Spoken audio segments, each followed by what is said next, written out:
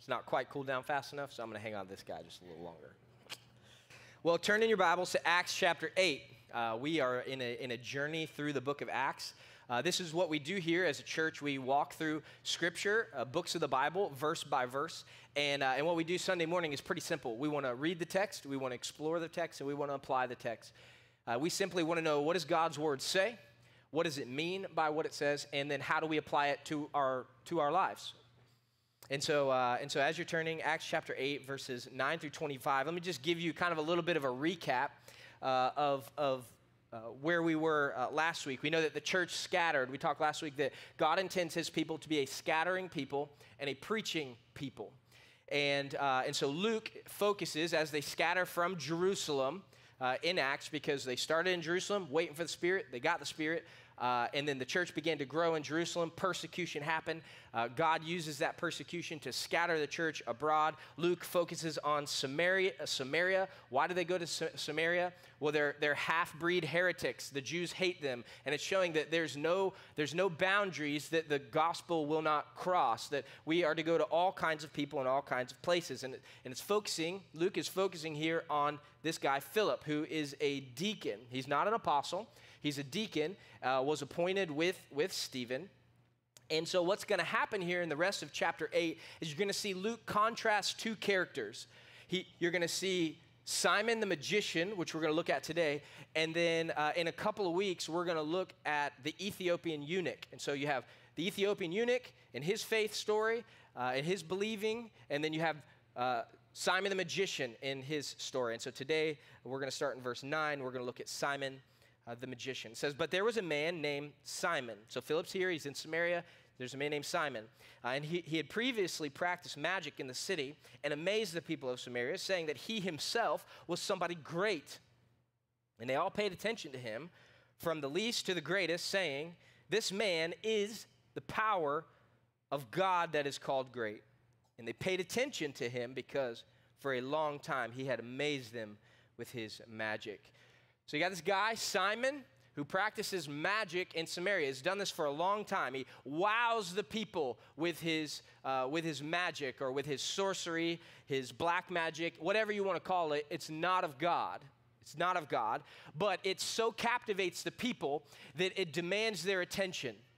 So they listen to him, they receive his teaching because they see this demonstration of his, of his power.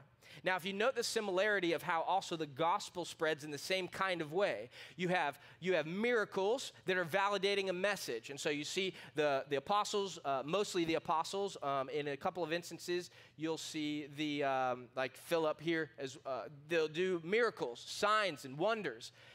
And accompanying that comes this profession of the gospel of Jesus Christ as God. And so here, what you have is you have signs, you have miracles, you have magic and yet it's pointing to a false truth, a false gospel, a false message. And what did these signs point to? Well, they pointed back to Simon. They pointed back to Simon. This guy's a total egomaniac. Like, it's like he does these wonders. He's like, hey, look at me. He's pointing it all back to himself. He was referred to as the power of God that is called great, or the great power of of God. In other words, he's kind of he's projecting this God likeness in his character. Uh, or type of manifest version of God, almost a little bit uh, like what you see in, in Jesus, except obviously a false version. And so for a long time, says for a long time, the people, they followed him and they listened to him. Verse 12.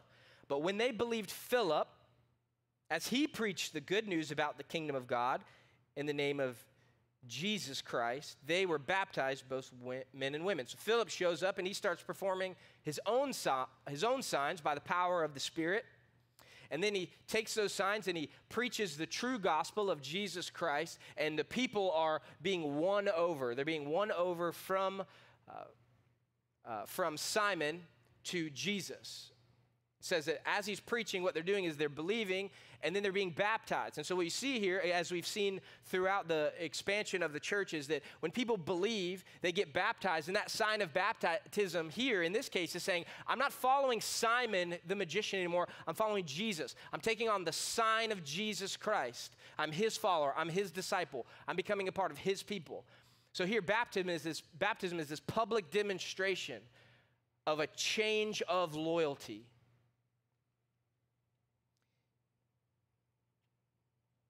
They're no longer following Simon. It says, even, verse 13, Simon himself believed. And after being baptized, he continued with Philip. And seeing signs and great miracles performed, he was amazed. It says, even Simon believed. Did Simon believe? This is debated. I'm not convinced, and we'll walk through the text of why I think that Simon's belief is bogus. Simon is a bogus believer. Uh, two details to recognize up, up to this point. First of all, is just the detail of baptism. Everybody who believes, whether true or false, they get baptized. You'll see this the same thing with the Ethiopian eunuch. Believers, followers of Jesus Christ, as a part of our declaration of following Jesus, baptism, baptism is a sign of that. It is a command of Jesus as he tells disciples, go into all the world, make, make disciples, and baptizing them. It's not optional for Christians. We get baptized. And by the way, uh, in a couple of weeks, we'll actually have opportunity, a baptism class. For, so for those of you that are interested in taking that next step in baptism, uh, we want to create healthy on-ramps for you. But if you are a follower of Jesus Christ and you have not been baptized, I want to encourage you to, uh, to come and participate in, in that class. The second thing is this. Notice Luke's use uh, so far through this, these texts of this word amazed amazed. I think what I think Luke is trying to give some insight here because uh, it's used three times in like four verses or five verses. In verse 9, it says, Simon amazed the people of Samaria. Verse 11 says, For a long time, he amazed them with his magic. And then verse 13, now he's following Philip and he's being amazed by Philip and the signs that are being done there. So I think part of what we're seeing here, and it'll flesh out a little bit more later on, is that Simon is addicted to amazement. He loves to amaze people, and he loves to be amazed. It's a big clue for what happens. Verses 14 through 17 says, Now, when the apostles at Jerusalem heard uh, that Samaria uh, had received the word of God, they sent Peter and John, and they came down uh, and prayed for them that they might receive the Holy Spirit, for he had not yet fallen on any of them, but they had only been baptized in the name of Jesus. Then they laid their hands on them and they received the Holy Spirit. So next week we're going to actually we're going to we're going to talk about that section next week. Raise a lot of questions, important questions that we should answer about the receiving of the Spirit and, and wh- why does he fall and, and making sense of all that. But for today, we just need to recognize the Spirit fell, the Spirit fell, and uh, and then the focus goes back to Simon. It says, Now, when Simon saw that the Spirit was given through the laying on of hands of the apostles, he offered them money, saying, Give me this power also, that anyone on whom I lay my hands may receive the Holy Spirit. Simon saw this working of the Spirit, so it shows us that the Spirit falls in a very potent, tangible way. It doesn't tell us exactly how. My assumption is maybe kind of like at Pentecost, uh, but in, in some way that is, that is very obvious. And so this power, Simon sees, comes through the, through the apostles' hands, at least based on his perception and understanding of it. And so Simon, loving amazement, was like, oh, wow, I need to be able to do that. I need to be able to do that. And he offers them money. He offers them money to receive this power so that he can do the same thing. So remember, Simon's profession was, was a magician, was wowing people. And so this is an investment opportunity, it seems. I'm gonna pay, I'm gonna pay these guys to get this amazing power. It's so amazing that even he's amazed by it. And he expects a great return on investment for purchasing this power. I want you to notice something. Uh, first, it doesn't seem that Simon is actually experiencing this move of the Spirit in the same way everybody else is. It says he's, he saw the move of the Spirit. Now, I might be reading into that a little bit, but maybe not. It seems like, uh, especially in fact that I think that he's not converted, that he's not experiencing the Spirit in the same way. I think he's seeing it done. He wants to pay and have the power. And the second is this that he has zero acknowledgement, zero acknowledgement of God with regards to this power. He said, It's like, it's a business transaction. You got the power, and I'm gonna, I want you to give it to me, so I'm gonna pay you money to give me this power. Whatever you're doing, whatever, whatever you got going on, to do that through the laying on of your hands. I want that. And I think what we're seeing is that time is telling the story of Simon. His heart is being revealed over, over time. And so Peter, Peter's here now because Peter and John had come. So Peter now responds to him. And he said to him, May your silver perish with you because you thought you could obtain the gift of God with money. So Peter, first of all, rightly acknowledges this is not a gift from us, this is a gift from God. So it's not ours to give, first of all. So even if we wanted to take your, your money, we couldn't. We couldn't give you this gift. It's a gift of God. So they, they rightly attribute where this power is, is coming from.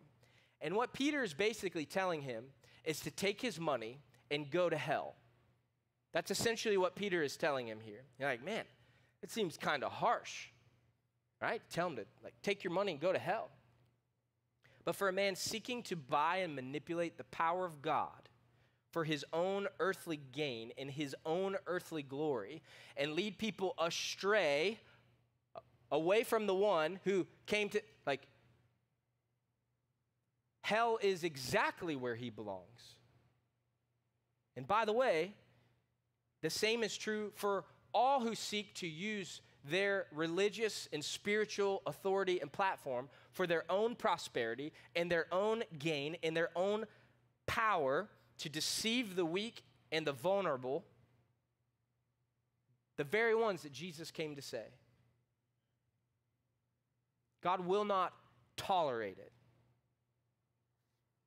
And yet, and yet, God is so unthinkably merciful that he offers forgiveness even to those people. At no point in this text do we see that Simon can't be saved. I think what we're seeing is that he can, in fact, be saved, and yet He's so consumed with his desire for power and money, his own greatness, that he remains unwilling. So we learn a major lesson here from Simon as we head into the final verses of, of our text. We learn that Simon's belief in Jesus, remember he, was, he believed and was baptized, it was bogus. Was not real. Simon's belief was bogus, which means then there is such thing as bogus believers. There is such thing as those who will walk with Philip and the apostles, sit at the table with Jesus, and not know God. That's what we learn here. So, Simon believed, seems in his mind, in Jesus.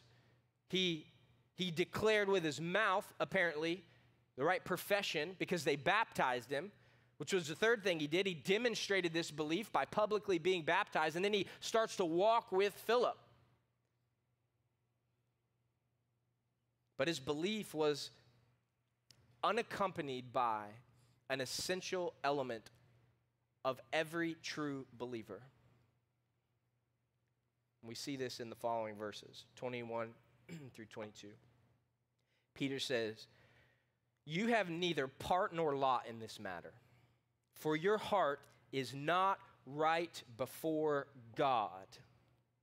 Repent, therefore, of this wickedness of yours and pray to the Lord that, if possible, the intent of your heart may be forgiven you. For I see that you are in the gall of bitterness, which is a, it's a reference from Deuteronomy 29 18, and in the bond of iniquity, in the bond of sin.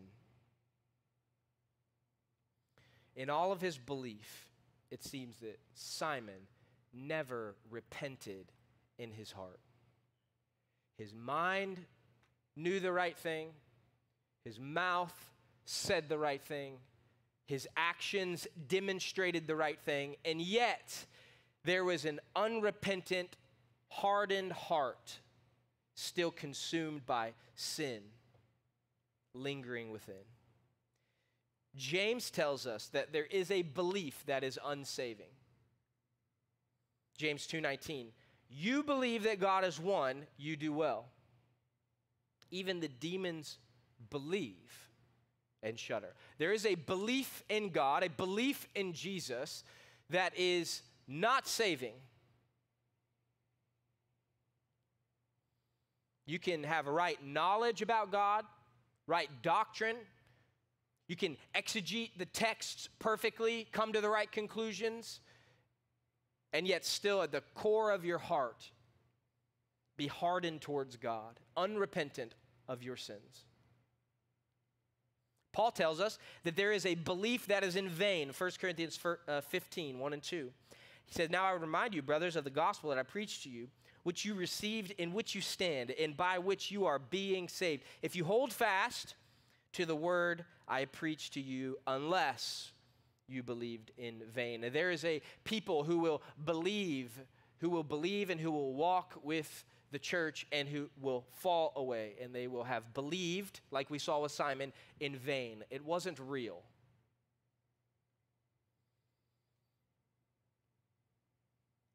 Jesus tells us this, right? The parable of the four soils. So you have, you have one seed, you have four uh, seeds scattered on four different kinds of soil. First seed doesn't sprout because it's rocky, there's no soil. The two middle seeds, they actually both sprout. One sprouts and is scorched by the sun, withers, sprouts quickly, dies quickly. And there's another one that sprouts but is eventually choked out, kind of in time by the thorns, by the weeds. And then there's one seed that is planted in good soil and perseveres to the end, grows. So think about that. Two thirds of the seeds that actually sprouted eventually die away. Jesus tells us that bogus believers will live among the true believers. Matthew 13, he says, he put a, par- a, parable before them, saying, The kingdom of heaven may be compared to a man who sowed good seed in his field. But while the men were sleeping, his enemy came and he sowed wings, uh, weeds among the wheat, and he went away. So when the plants came up and they bore grain, then the weeds appeared also. Verse 30 says, Let both grow together until the harvest. And at harvest time, I will tell the reapers, Gather the weeds first, bind them in a bundle to be burned, but gather the wheat into my barn. Are you catching the drift? There's a serious warning in the text that we're looking at today. There's a serious warning that we need to see as the church. And by the way, the, the, the, our solution is not for us to try to like investigate and find the bogus believers so that we can excommunicate them. Like, that's not, that's not the, uh, the application here. Because what you essentially have is three categories of people you have the true believer, you have the unbeliever, and then you have the make believer. Right? So, I mean, really, it's two categories there's believer and unbeliever. But you have this kind of weird pseudo believer, this, this one that's there, that's sitting among them, that is saying the right things, that's walking, doing the right things, that's serving, that's giving. And yet, their heart has not been penetrated by the gospel of Jesus Christ. Some of these make believers are aware, says the enemy came and sowed, sowed the seed. Matthew 7, Jesus calls that there's going to be wolves in sheep's clothing. There's going to be people within the church, within God's people, that seek to wreak havoc on the work that God is doing. But unfortunately, I actually think that most most are actually are, are unaware. They're unaware that their heart, that their belief is bogus, that their faith that they have is not a true saving faith. And they're going to, I think, experience, like what says in Matthew 7 21 through 23. Not everyone who says to me, Jesus says, Lord, Lord, will enter the kingdom of heaven, but the one who does the will of my Father who is in heaven. On that day, many will say to me, Lord, Lord, did we not prophesy in your name and cast out demons in your name and do mighty works in your name? And then I'll declare to them, I never knew you. Depart from me, workers of lawlessness. This is my fear. My fear is that there will be so many, maybe in this room, many in this room even, will find themselves standing before God one day, overwhelmed by the perfection, the, in, the intense glory and holiness, facing judgment for your life, and be found unknown by Jesus, uncovered by his blood, unforgiven of your sins. Okay, so what, what do we do? We see Simon's bogus believer. What do we do then in, in light of this? We test ourselves. So, that, so what we don't do is try to try to identify the bogus believers, seize them, put them out. It's for each one. The call is for each one to test yourself. Paul says, 2 Corinthians 3:15, examine yourselves to see whether you are in the faith. Test yourselves. Or do you not realize this about yourselves that, that Jesus Christ is in you, unless indeed you fail to meet the test? Well, what's the test? I just want to focus today on one, one element. When you believed in Jesus, was it accompanied with an overwhelming sense of guilt and shame and unholiness and disgust because of your sin and unrighteousness? And at the same time, followed by an intense uh, understanding of freedom and joy and forgiveness and hope and all of these things in Christ. Causing you to causing you to see this thing that separates you from God. See that Christ has forgiven you and freed you from those things so that now you can pursue your relationship with God. It's like someone gives you a 100 pound weight and says, All right, I want you to take this weight the entire distance of the Appalachian Trail barefoot.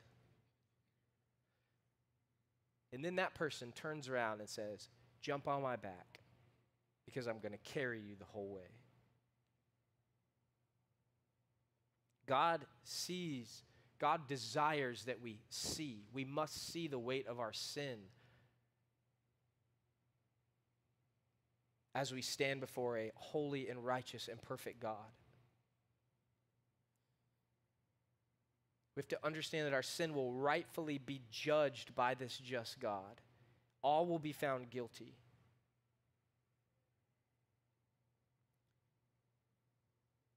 And the consequence, Scripture tells us, is an eternity separated from God in a place called hell, where there will be weeping and gnashing of teeth. And then God says, But because I love you, because I because I love you and I desire mercy over judgment, I'm going to send my son carry to carry the guilt and the shame and the conviction of your sin. If you would repent and believe in Jesus. If you look through the New Testament, repentance repentance is often accompanied with this idea of belief. Repent and believe. Read through the Gospels. Turn from your sins. So this idea of repentance is a it's it's turning away. It's acknowledging, agreeing with God of our sinfulness and it's turning away from that and believing that the forgiveness comes not through our turning away. The forgiveness comes through what Jesus did on the cross. If this is not the foundation of your faith, your sinfulness, God's holiness, restoration in Jesus Christ for the forgiveness of that sin, your belief is bogus. If your belief in the gospel is based on anything else, then it is not true belief in the gospel of Jesus Christ. It's not about Jeremiah 29 11 that God's got some amazing plan for your life if you just follow Jesus. That's not the focus. It's not Philippians 4:13 that you can do all things with Christ who gives you strength, so follow Jesus so that you can accomplish all the things that you want. That is not the focus. Now, there are truths for believers within those passages, but that is not the essence of our Christianity. It is not the essence of our pursuing Jesus. It is Romans 6:23, the wages of sin is death, but the gift of God is eternal life in Jesus Christ our Lord. You were dead in your sins, and in Christ you were made alive. That's the focus of true belief. It's about being restored to relationship with God, with your Creator. That is the focus. And ultimately, ultimately, it's not about you. It is about the glory of God. God makes his own greatness and his own glory known by putting his mercy and his justice and his love and his compassion on display by forgiving sinners who absolutely do not deserve to be forgiven. So we should test ourselves. And by the way, parents, this is because of this reality of bogus believers. So we got baptism class coming up. So for adults and teenagers, we're going to send you into a class and we're going to we're going to help take you next step. But when it comes to your children, this is why as a church we're very slow to baptize children. Because we need to make sure that the profession of their faith is not just that they have the right knowledge, they're saying the right words, they're doing the right demonstration, but that to the best of our knowledge that we can see that there is repentance in their heart that the Spirit of God comes, on, uh, lives within inside the believers. And one of the primary works of the Spirit is conviction of unrighteousness. And so if you want your kid to be baptized, I'm going to ask you, or Pastor Sabine is going to ask you, are you seeing demonstrations of a broken heart because of sin in your child? If not, wait on baptism. So as we wrap up, to all the worship team, you guys can come back. Listen, we, we have to take this text as a warning for us as the church.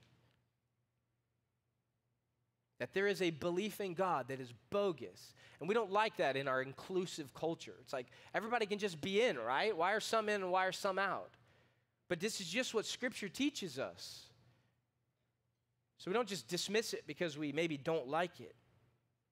And so my aim in this is what I'm calling you to do today, all of us, I've been doing this all week. It's been actually kind of brutal. You ask yourself, like, am I truly in the faith? Like when you lay in bed at night and you think about your life and you think about your choices and you think about your sin, what is the disposition in your heart in that moment when no one else is seeing you? That's the place where it will be revealed the most. Because there are going to be people who serve faithfully and who give faithfully and who preach and who teach and who do all of these awesome things, and yet their heart internally is hardened to the gospel of Jesus. There's been no repentance of their sin. They were unwilling to let go of things in pursuit of God. So if you say you have a new relationship with God, but you do not have a new relationship with sin, you are deceived you are deceived. And so as the worship team begins to play, this is kind of how we this is how we kind of do this. We, we walk through text and want to want to dissect it and understand what's going on. But then at the end, the worship team actually going to take about a minute, a minute, and two minutes to just kind of play. And this is a time of reflection and response. So as we think about the text, what is God through His Word uh, impressing on your heart by the Holy Spirit?